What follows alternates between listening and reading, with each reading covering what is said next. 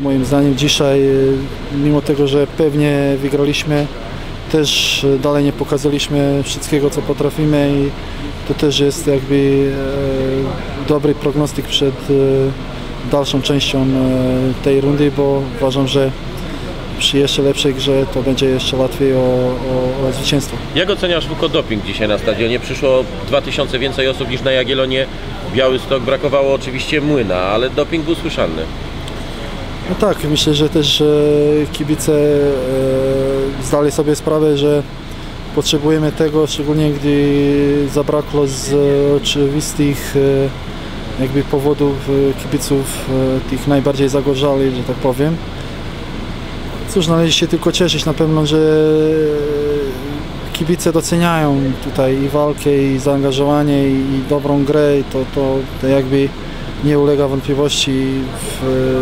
Na pewno chcemy im za to podziękować i na pewno chcemy, żeby ich jak najwięcej przychodziło.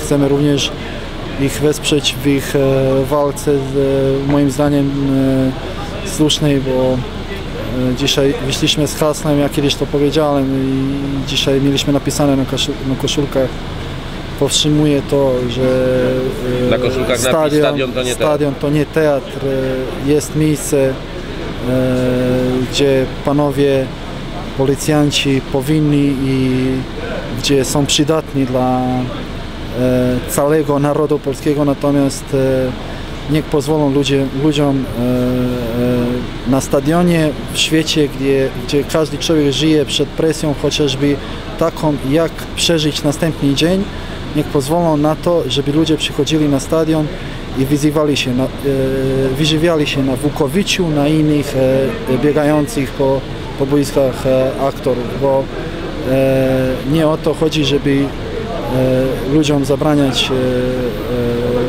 po prostu e, pokazywać emocje na, na stadionie. E, ale, ale na pewno wiemy, że, że, że oni przed telewizorami nas oglądali, wiemy jak sytuacja wygląda. Ta bramka była dla mojego taty, który dzisiaj się pojawił na meczu. Pierwszy raz strzeliłem bramkę, jak on był, on naprawdę bardzo rzadko jeździ na mecze korony, teraz chyba zacznie.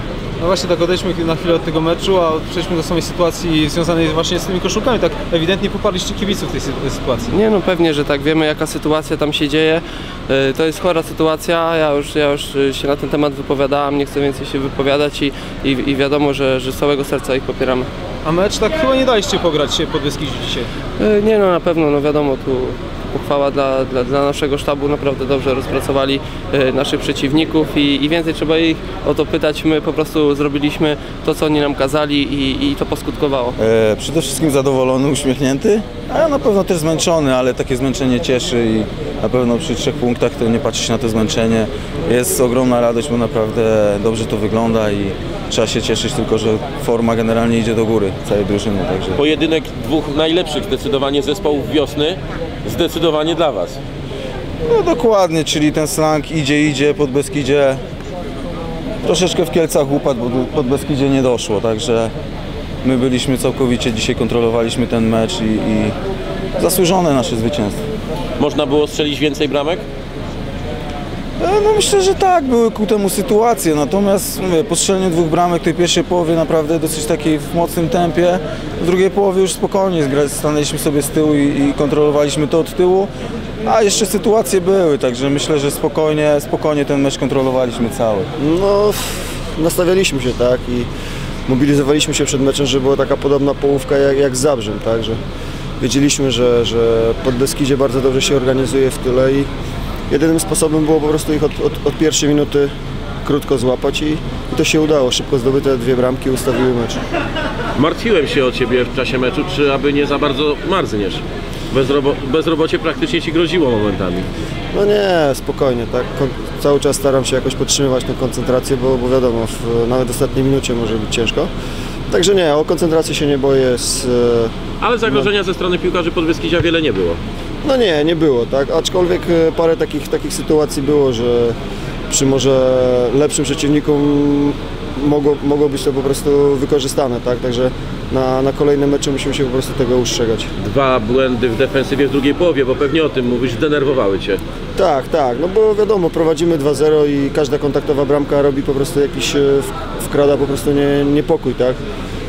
W zespół, także, także chcieliśmy te, ten wynik do, dociągnąć 2-0 i to się udało. Mam nadzieję, tak jak mówię, że, że, że w kolejnych meczach nie będziemy robić żadnych fajerwerków, tylko po prostu swoje grali dalej. No spokojnie, takie życie, no trudno, przegraliśmy mecz, my wyciągniemy wnioski i gramy dalej, no. Chcieliśmy e, wyprzedzić koronę po dzisiejszym meczu, no, niestety jakby powiększyła się ich przewaga, no ale gramy dalej i zobaczymy, no. Zaskoczyła Was korona w tej pierwszej połowie? Nie, korona z tego co obserwowaliśmy gra bardzo agresywnie, agresywnie zwłaszcza przez pierwsze 25 minut. Stara się strzelać bramki, no to im się udało po prostych błędach jak na naszych obrońców. Raczej im się to nie przydarza. Ale tak jak mówię, no to już jest przeszłością, patrzymy co dalej, mamy Legię teraz u siebie i będziemy się starali wygrać mecz.